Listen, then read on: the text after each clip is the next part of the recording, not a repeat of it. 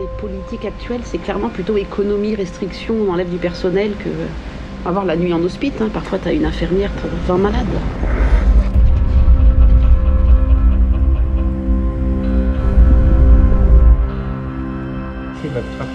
Ah, là c'est formidable.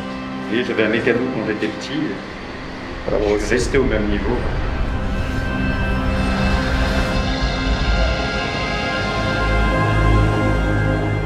Parce que là, t'as quand même une bonne idée de ce que t'as fait, mais c'est pas qui a coupé ça, mais c'est absolument immonde.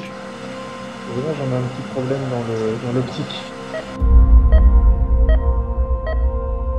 Quand tu bosses en réa, tu as un côté très carpe diem. Donc je vais quand même vérifier qu'il n'y a pas de- d'anomalie particulière, d'accord? Ne vous inquiétez pas. C'est une petite crevette, une petite crevette toute belle. Félicitations.